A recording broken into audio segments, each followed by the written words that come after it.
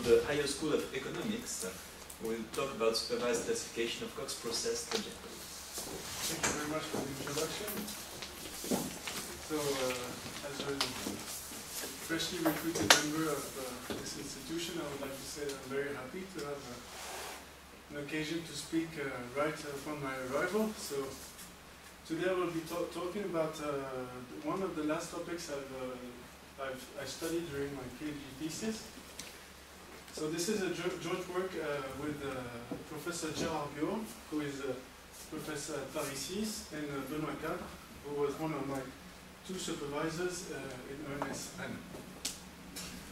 So uh, in this uh, in this contribution, we, had two objectives.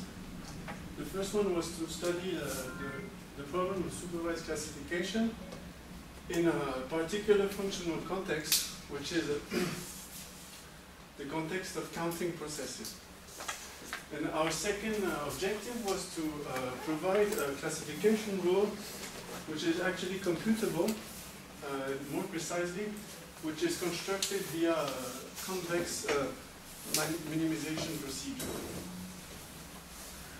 So, roughly speaking, our, uh, the, the data we want to consider in this classification problem is the following.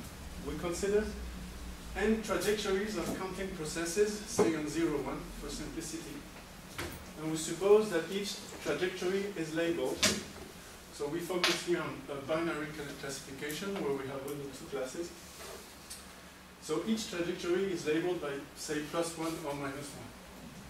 So here, uh, an example of uh, application, and what we had in mind, is the following. Say, for instance, that you observe uh, on one year the number of visits uh, to the hospital of some patients that uh, have, uh, say, uh, cancer. And uh, for each of those patients, uh, we have the trajectory and also we have a diagnostic indicating if after one year uh, their disease has been aggravating or has uh, become better. And now our goal is uh, to have a we have a new trajectory, so a new patient is observed during one year, and based on our uh, learning data, we want to be able to affect a label or an automatic diagnostic of his uh, of his um, the evolution of the disease. So before getting into the details of the model we consider and uh, our contribution, uh, as I figured that the audience is uh, quite uh, composed of very eminent scientists, but from uh, broad, uh, broad areas, I, I, I thought that making a small introduction supervised classification would be interesting, just to remind the notations. So, what is classification, supervised classification? So, the, the classical setting is the following. We assume that we are given a, a sample of labeled, uh, independent and identically distributed data, so the data points are the xi's, the labels are the yi's. And we'll suppose that they are distributed uh, along the same distribution and a, a, a, certain, uh, uh, how do you call it, universal or x, y, just for notations. And the general goal is uh, to given a new data point xn plus 1, whose label is unknown, drawn from the same distribution as capital X, we would like to determine its label, unknown label, xn plus 1, uh, in a, in a, with minimum uh, probability of error. And what we mean formally by that is the following. So we want to construct formally a classification rule, which is a, a function gn, uh, taking its arguments in the data, in the data space x, with values plus or minus 1. And based on, uh, based on our sample, so we, the small n here uh, indicates that gn is actually a, it's actually a random variable taking its uh, values in a function space. So based on our sample, such that the probability of error L of gn is as small as possible. So another way of understanding this quantity, of course, is that L of gn is simply taking the integral, the indicator function of y is different from gn of x integrated against the joint distribution of x, y.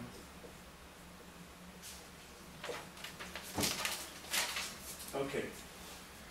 So, uh, so now the question, uh, it's, is, uh, of course, yeah, so how do we measure the performance of a given rule? So usually uh, we, we, we choose to measure the performance of a given rule Gn by comparing its performance, at L of Gn, to the so-called Bayes risk, that we denote L star, that is simply the minimal, uh, the minimal probability of error that is possible, where here the infimum is taking over all the possible functions with values plus or minus 1. So in other words, what we uh, want to do is try to bound, so in a certain sense, with high probability or an expectation, the positive random quantity which is here. So of course this is positive because by definition L star is uh, smaller than its quantity. So, of, so this is of course uh, an objective that is typical of the learning, statistical learning framework because objective is not to estimate uh, uh, the, the best possible rule, I'll explain that, but mimic the performance of the best possible rule. So uh, just, uh, this is, will be interesting for the, the sequel. So we can show that uh, actually the best possible rule, so-called Bayes rule, can, is given explicitly by this formula. Uh, it's precisely uh, actually the sign, this is the sign of the regression function of y given x. So now the question is how to construct a rule Gn uh, whose performance is good. So of course there are a lot of uh, possi possible uh, ways to do that. I just mentioned two. Uh, so example one uh, is the so-called nearest neighbors uh, rule.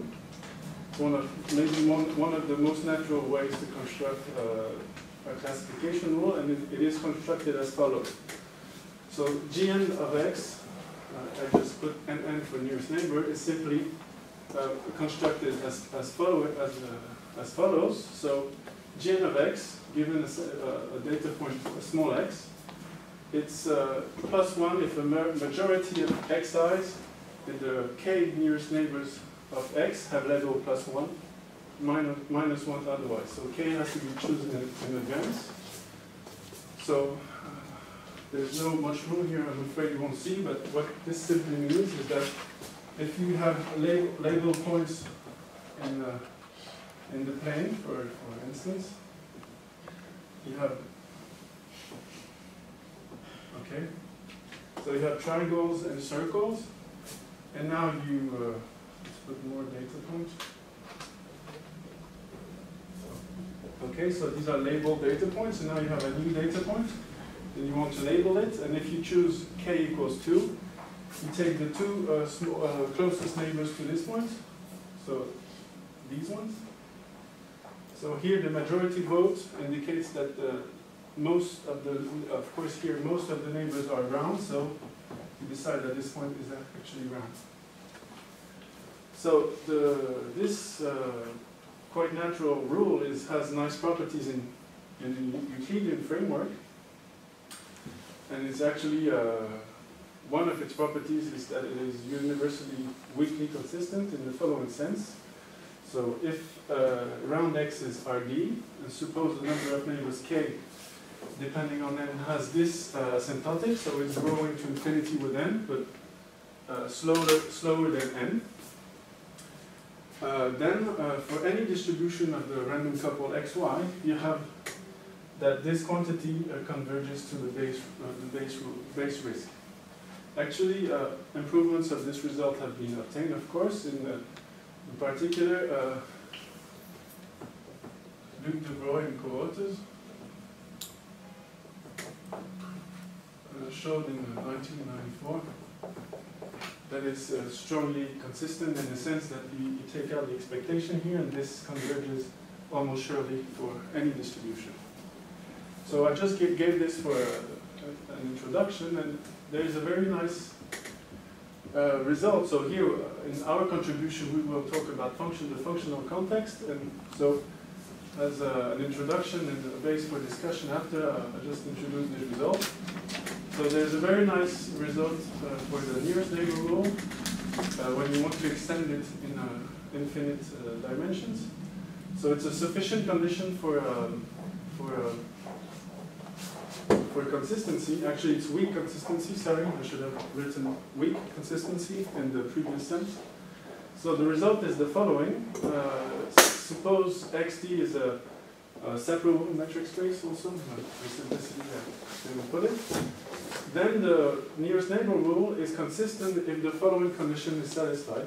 So this is usually referred to as the Besicovitch uh, condition. And roughly speaking, this condition is, uh, okay, so R is the, here is the regression function of y given x. So this, it's not really clear what it means, but in fact, it's a pretty much a continuity property of the regression function with respect to the marginal distribution of x. So of course, if R is a continuous function, this is automatically satisfied. And you have uh, a number of interesting, well, uh, up to my knowledge, open questions. Uh, so this is only a, um, uh, sorry, a, a necessary condition, sufficient condition, sorry. So, but what does what happens when x is, for instance, uh, a standard Brownian motion or uh, a Brownian diffusion? Is this condition satisfied? Uh, in the case where x is a point or a counting process, and what about rates of convergence? So here, uh, these questions, which are, uh, I believe, non-trivial, uh, indicate that general, or at least direct generalizations of the nearest neighbor in infinite dimension is probably not a good idea. For instance, uh, it is uh, I guess, a pretty much active field of research. What is this? What is the behavior of this quantity? Uh, sorry, Bx delta just uh, refers to the open, of course, Bx delta refers to the closed ball of center x and radius delta in the metric space. So what is the, the, the behavior of this quantity when x is a Brownian motion? I guess this is one of uh, interesting questions today, which is not totally solved. So without making uh, ad hoc... This result is for the nearest neighbor with... Yeah, what yeah. is what is k? k is... K is the number of neighbors that you choose. Yeah, but is it fixed or... or No, it, it moves, I'm sorry, yeah. But so it is... It's, you know, it has this as asymptotics, K depends on So then, then the result is for all the nearest neighbors that with this property Exactly. they, they are consistent. Exactly, so this wasn't very clear. Yeah. So, uh, so yeah, without making ad hoc uh, um, uh, assumptions on the behavior of the small balls in infinite dimension, uh, using direct generalization of a finite dimensional method is not always a good idea. Maybe we should use the particular uh, functional uh, structure of the data each time we consider a specific example. So now let's go to second example, very famous, and well, widely studied at least, which is the so-called empirical risk minimization rule. So uh, this rule is constructed also in a very natural way. It is uh, just the empirical counterpart of the definition of the Bayes rule. Actually, the Bayes rule minimizes this quantity when uh, here is not the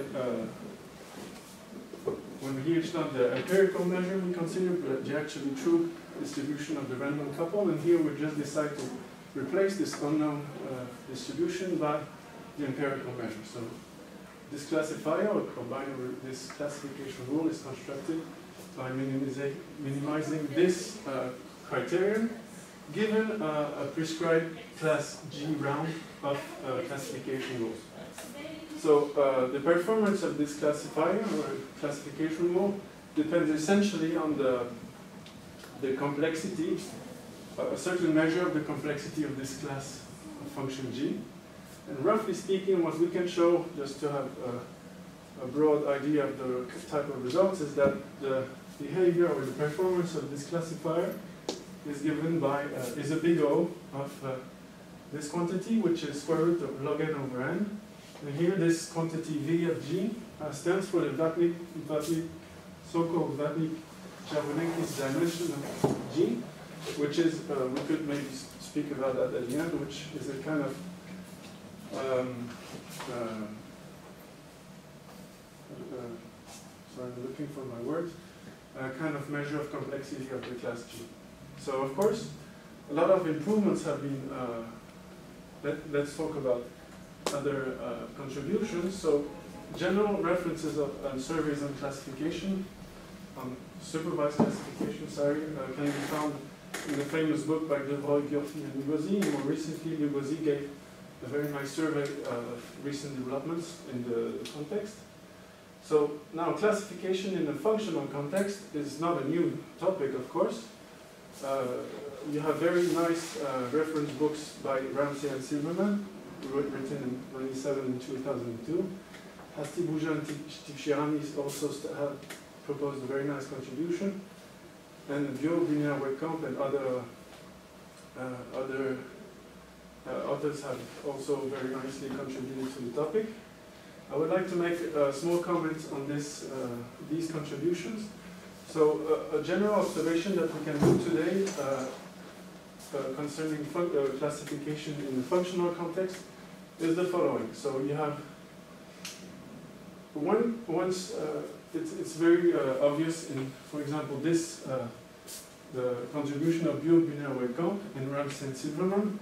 So what authors uh, like to do sometimes is to consider the the, for instance, the classification problem in the, say, the Hel uh, Hilbert space context, and the lack of structure somehow in this uh, just very general space uh, forces, uh, forces us to replace the full representation of data by uh, truncated, um, uh, truncated development in a given Hilbert basis, and actually results in performance of performance of rules that we construct by this method actually suffer in a quite uh, quite uh, artificial way. They suffer by the number of uh, co coefficients that we choose to, to keep.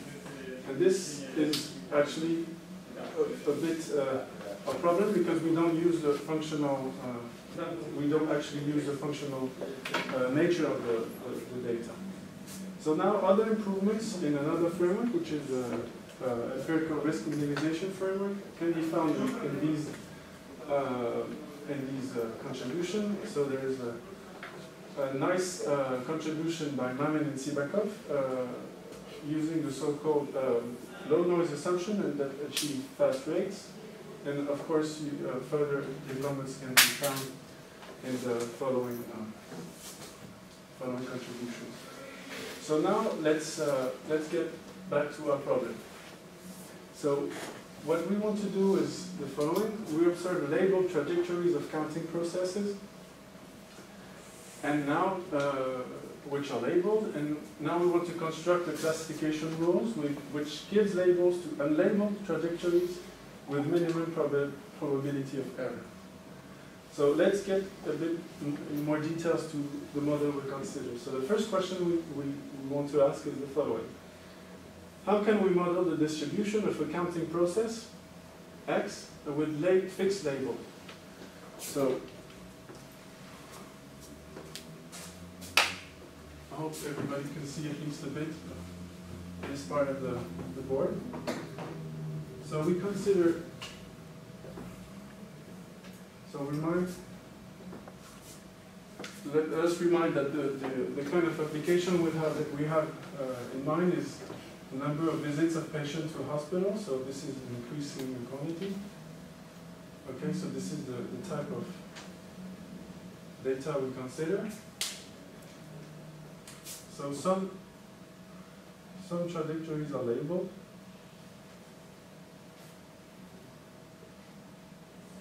Okay, so you have green and blues. Let's say that the blues are plus 1 and the green are minus 1. Now we have unlabeled ones.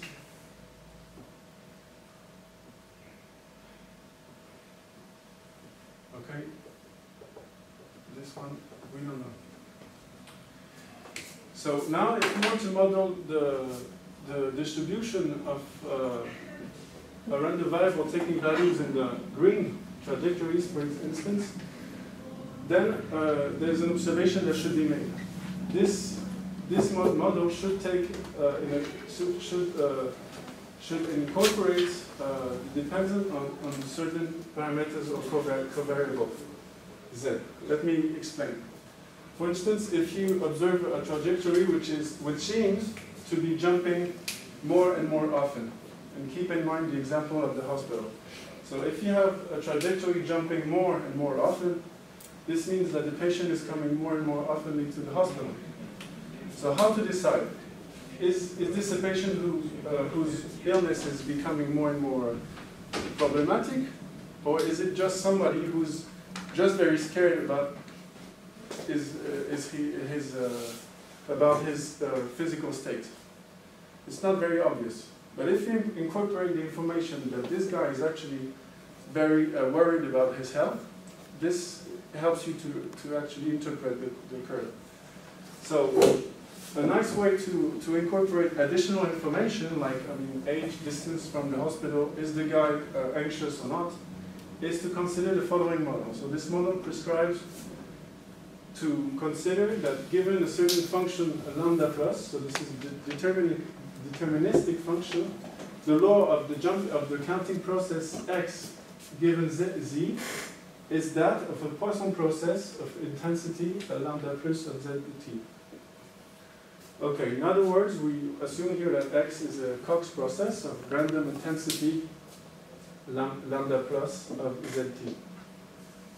So now, of course, we don't have, uh, x doesn't take only its values in the green curves, but also in the blue ones. So now, second question, how to construct our final, final model. How can we model the distribution of the counting process with unlabeled, uh, with a fixed label? So this is very natural. We're given what we just said. If x is a counting process, is our counting process, z is our covariate, and y is the label, then a very natural uh, procedure is to consider that x is a mixture. So given two functions now, lambda plus and lambda minus, we consider the law of x, given z and the fact that y equals plus 1, say, then it is the, uh, Poisson process with intensity lambda plus of the t. So I'm just saying here that x for us in all the sequel will be the mixture of two Cox processes with different intensities. So let's go to our uh, classification problem. So now our, uh, it, our learning sample will not only be consisted of, uh, so it will be just as before, but the, the, so the only little difference is that our, our data points are pairs, pairs of trajectories. X is the trajectory of the counting process, Z is the trajectory of uh, so say the covariates that we want to consider for the patient, and y is the, the label.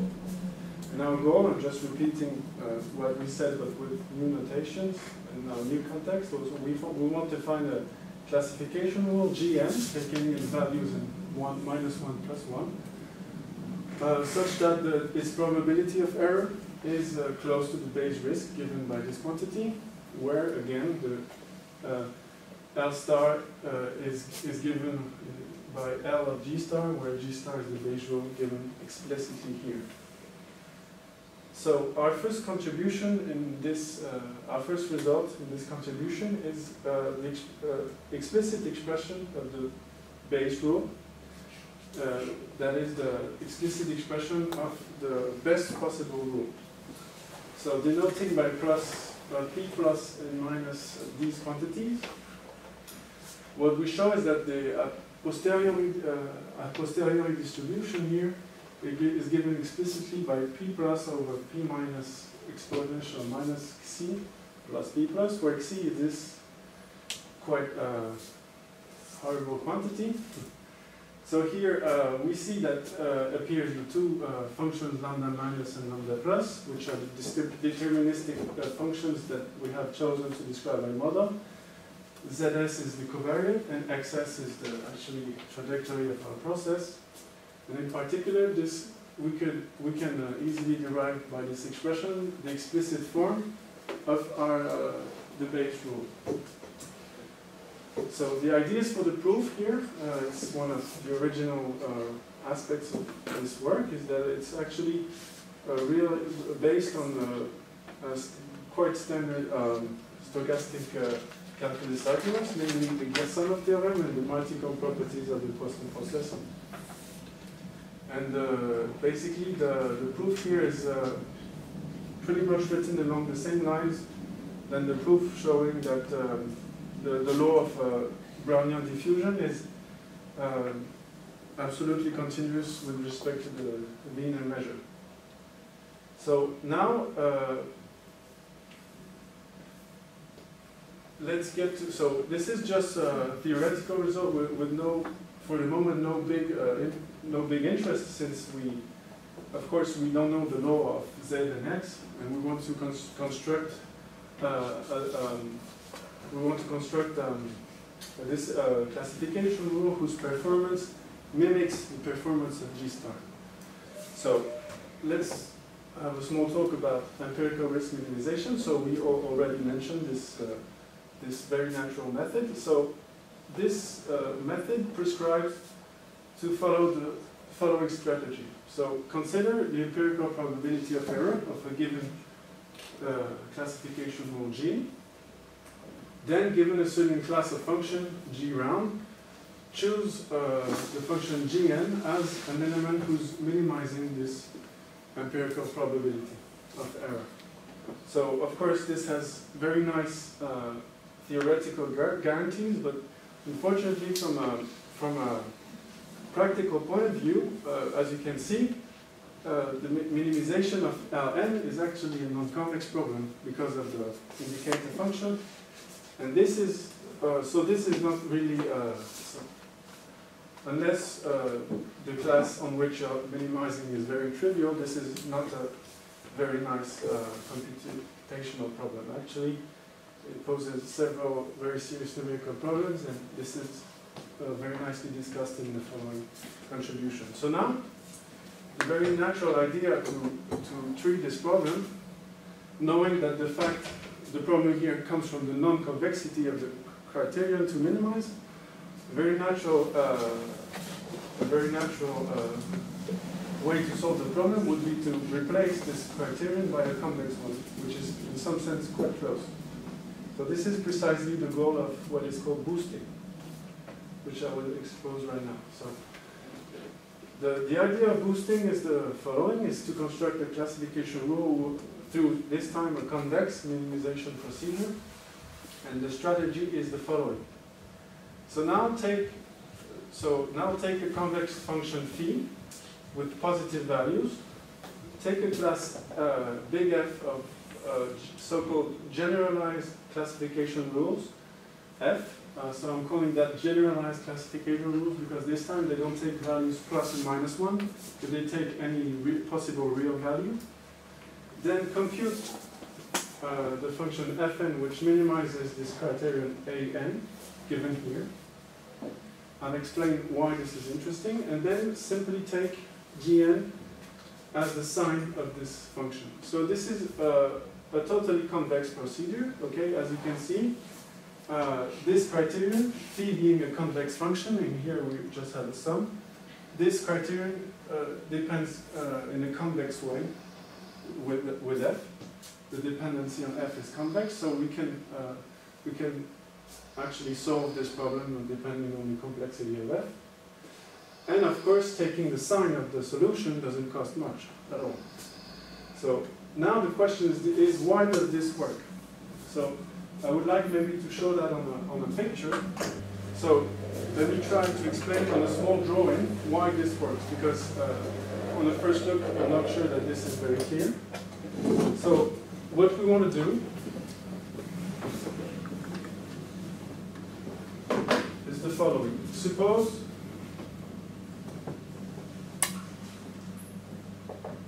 I'm doing I'm, I'm looking at an extremely stupid case, but you have only one data point. So here our data point consists in the trajectory, one trajectory of our counting process, one trajectory of the, the, the covariate that we consider that is uh, depends on the, the patient, and y the label, and it's given. And now you have only two classification rules, generalized classification rules.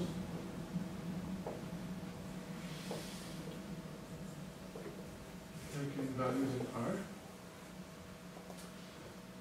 And uh, you want to decide which is the best one. So suppose, without knowing, uh, suppose, sorry, that you, the sign of, uh, sign of, sorry, yes, sign of f1 of xz is actually equal to minus y, and sign of f2 of xz is plus 1. So you see here the, the, the, the, the function f, which is actually the best one, the one that gives the right label, is, is the is f2. Okay, f2 is the best.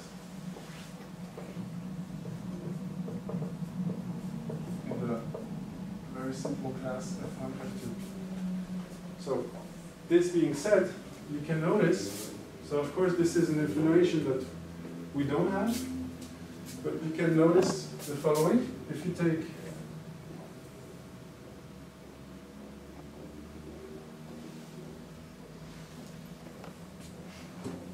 the function phi as the exponential, for instance, then here you have uh, minus y f2 xz.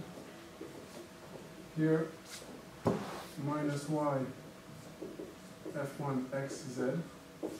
And then it is clear by the, the drawing that f2 is actually minimizing over the class f1, f2 the quantity phi of minus y f x z. So this is maybe not very uh, clear on the first look. It, it's actually a very, uh, I don't see if every, I don't think everybody sees what's written in the work. Maybe it's clear, okay. So this, this simple observation actually, when you generalize it, you get the, the general formulation of the boosting. Okay, so now, more specifically, you can give the relationship that exists between performance of this rule by the following. This is the first observation that we make. If we denote by big A this convex criterion, we've just seen the empirical counterpart. What has been recently shown, quite recently, uh, in 2006 actually, is that under very mild uh, uh, assumptions on the convex function phi, namely that is non-decreasing and having a strictly positive derivative in, at the origin, then the function f star, which minimizes this convex criterion, is actually such that the sign of this quantity is precisely, uh, in some sense, precisely the Bayes, the Bayes rule. So actually what this is saying is that uh, it is completely reasonable to try to approximate the Bayes rule, which is in some sense our goal, by taking the sign of a function that is approximating f star. And this is uh, approximating f star is quite nice now, but because we can replace a by the empirical counterpart, and this is a convex criterion. So more precisely what we can show in, pr uh, in practice, uh, when I mean, when I, in practice I mean for practical choices of the function phi, what we can show is that it, there exists uh, constant c and s such that we have this control uh, here.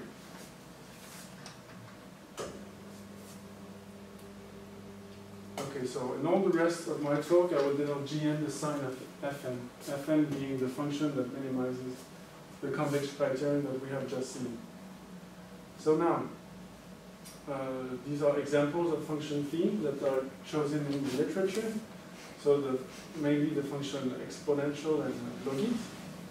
And for those both cases, we have this uh, precise control. And one may, may think, okay, we have replaced uh, non-convex criterion in the usual uh, context by a convex one, but now we have a square root here. So maybe we're losing a lot in terms of uh, rate of convergence.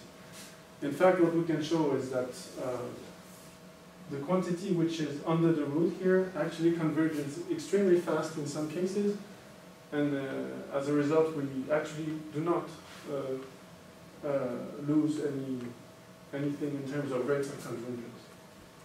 So, in all the C code, this is the choice we will make. I could talk about the reason why, but maybe this is not really interesting for this uh, this talk. I will skip the details. And now, so as we've seen, what we need to do is cho choose a function phi, convex function. That is what we, we just just exposed our choice. And now we have to choose choose a, a class of function big F on which we will proceed to our minimization procedure.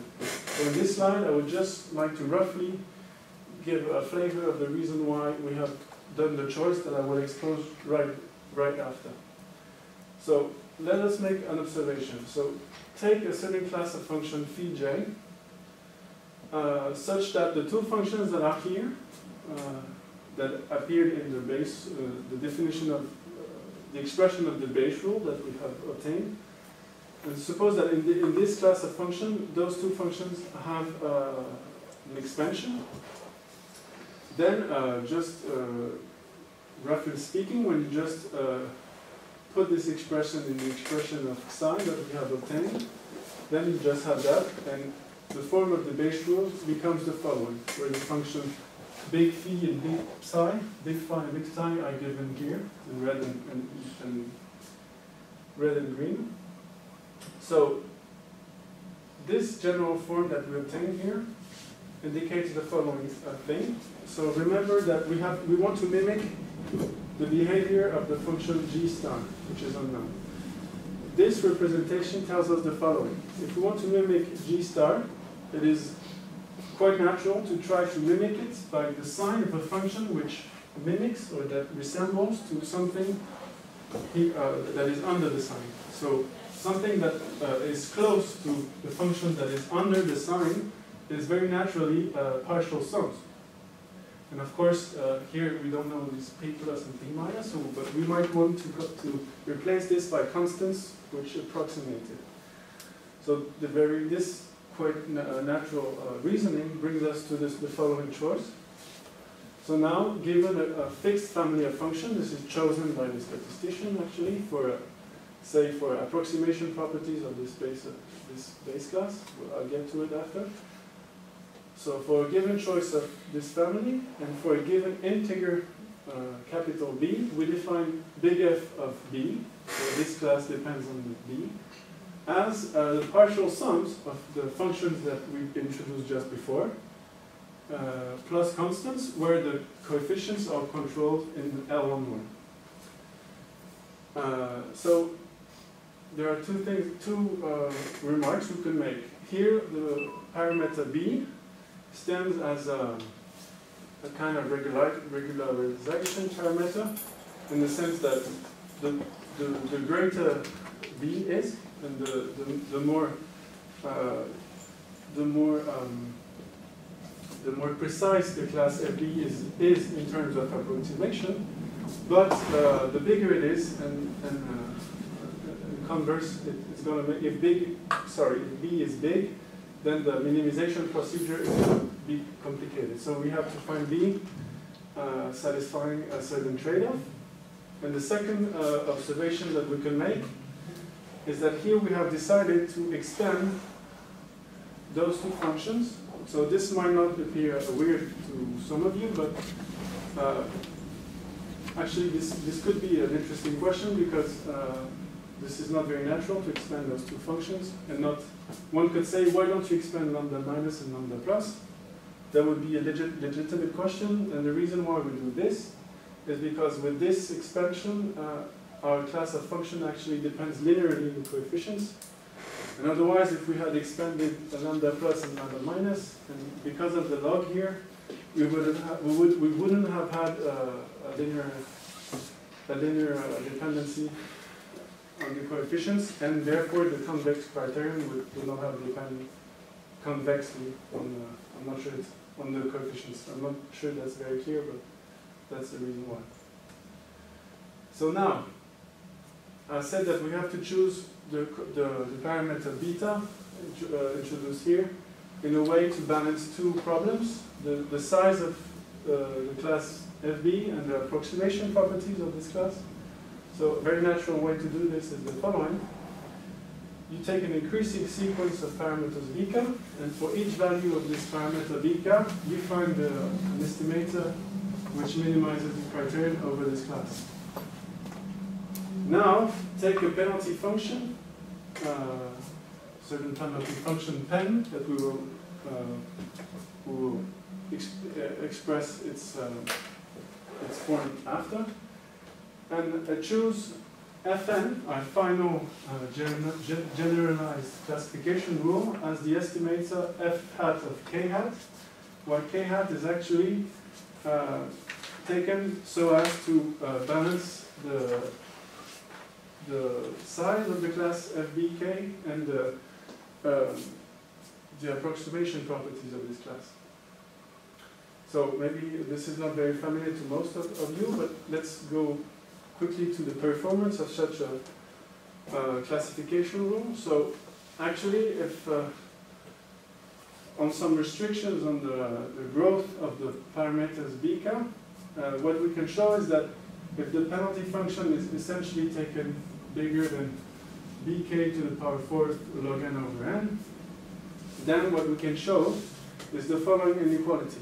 So a nice way to read this inequality is the following way. What it says is actually that for any value of k, our generalized classification rule here is behaving almost, because of number two, almost as good as the best function in FBK up to a certain uh, uh, up to a certain uh, uh, numerical rest or error, and uh, what we could say uh, with high probability. So what we could say here, first observation is that if for if for some value of k, the ideal function f star is actually in fbk, then this term becomes zero, okay? And therefore, this quantity here goes to zero at the rate n of k, which is given here, which is essentially of uh, order log n over n. This is, this is the first observation. Actually, you see there's no dependency on any dimension at all, or something like that.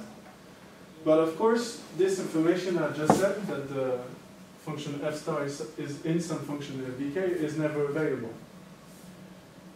So uh, what we have to do now is to control this bias term. And this is done uh, actually in a quite natural way by imposing some regularity assumptions on the functions, intensity functions entering in our model. And this is a simple way of stating the, result.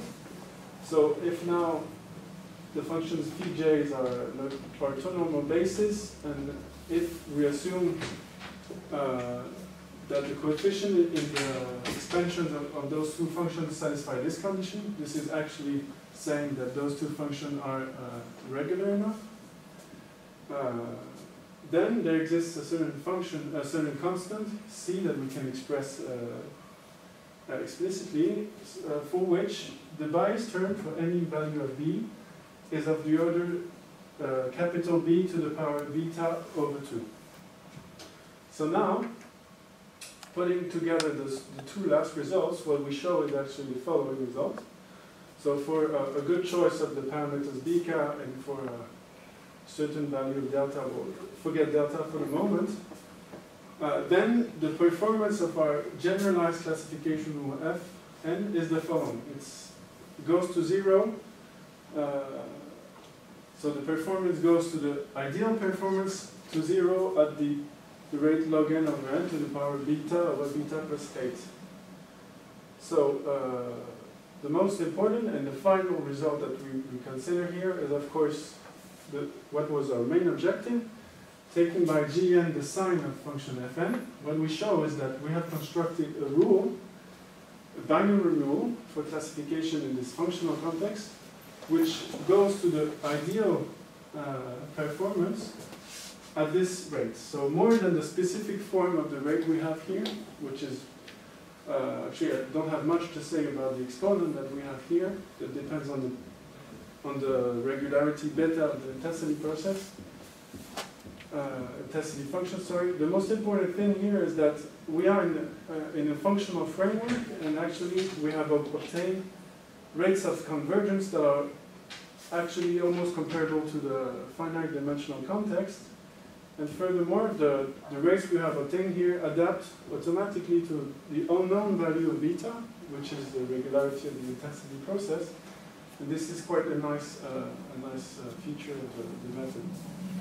So, just to sum up, what we have uh, studied here is uh, supervised classification in specific functional data.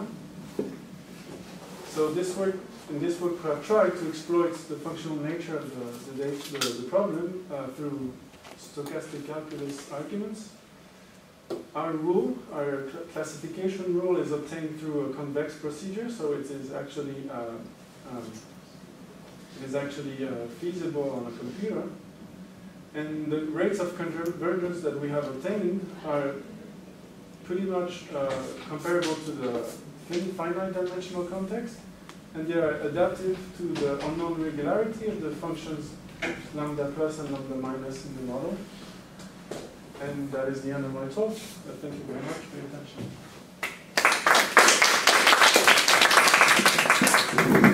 Thank you for the presentation. Are there questions? Just, just a short question. The, the rate is optimal, or I mean, the Uh, we, we have no idea for lower bounds in this functional context. Uh, it would it is a very interesting question to know if this if this is optimal, but we have no benchmark to, to compare it to because this is uh, uh, we are in infinite dimensions. Mhm. So in, the, in finite dimensions, uh, we have everything we want. Actually, the, we know how sharp are the results, and we actually have sharp results in lower bounds. But in this context, up to my knowledge, uh, uh, we we have tried to obtain lower bounds with no success for the moment, and uh, I have no idea if this is sharp or not. But in principle, it is possible to, I mean, to, to use sub, look for some subproblems to, to, to know Yeah, yeah, I- so. of course. For instance, I've, uh, I've looked at the Poisson process case where it, that is, it could be understood as, a- as a sub-problem. And, uh, but uh, technically it's uh, a bit hard for the moment. Uh, But in principle, of course, we could, we could probably show lower. And I mean, there must be also some related papers where we have some functions uh, in this and, and uh, functional parameters and, and is it known what are the other optimal rates? Compare similar models, related models.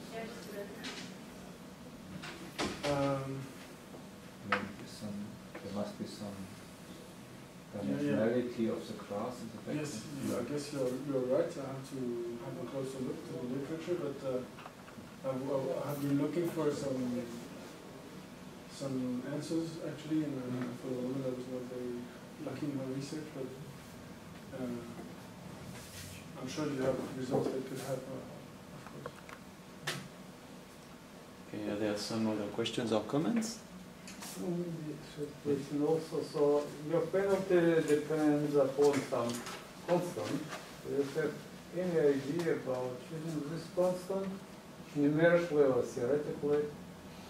Because, because otherwise you cannot implement it. I have, uh, actually, I have an expression explicit for the constant, but it's, it's absolutely enormous, numerically, absolutely enormous. Yeah, Probably non, non-practical. Not at all, for the moment. Okay, well, so let us thank the speaker again.